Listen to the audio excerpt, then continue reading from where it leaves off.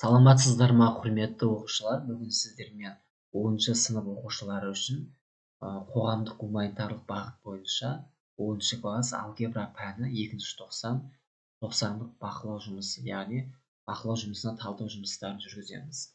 Бірінші тапсырмада фабриканың сапалы бөлшектерді өндіру ықтималдылығы нөл бүтін жүзден тоқсан жеті ақаулы бөлшектердің өндірілу ықтималдығын табыңыз дейді. Екінші ойын сүйегі лақтырылды. Натурал санның түсу ықтималдылығын табыңыз үшінші екі косинус квадрат пи бөлінген екі плюс х минус бес синус х қосылған үш тең нөл теңдеуін шешіңіз.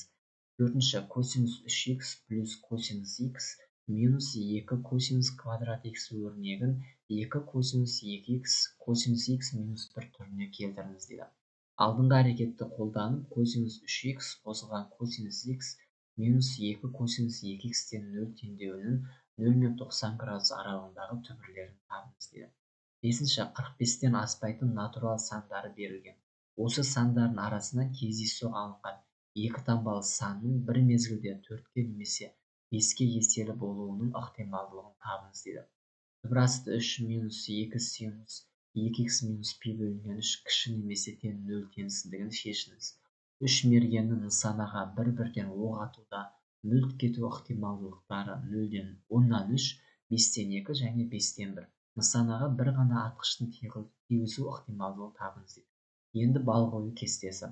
Бірінші есептің жауабы нөл бүтін жүзден үш болады. Өйткені бізде қарама қарсы оқиғаның ықтималдылығы бірден жаңағы нөл бүтін жүзден тоқсан жеті азайтамыз сол кезде нөл бүтін жүзден үш шығады. Екіншісі бір болады. Одан кейін үшінші есептің жауабы бізде косинус квадрат пи бөлінген екі плюс х тең болады косинус пи бөлінген екі плюс х-тің квадраты минус синус х-тің квадраты тең болады синус квадрат х келтіру формуласын қолданып шығарсаңыздар болады мінекей сәйкесінше төртінші есептің жауабын бесінші есептің жауабын алтыншы есептің жауабын жетінші есеп жалпы жеті тапсырма екен ғой балалар мінекей осы жерден көре аласыздар? Өз қателеріңізді.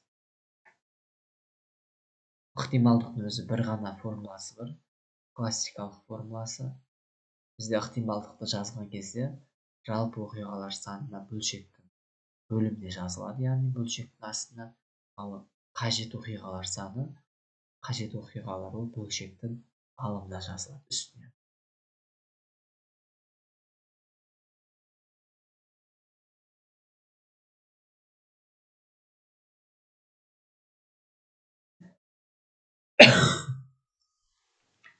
Ал назар қойып тыңдағандарыңызға рахмет. Сау болыңыздар.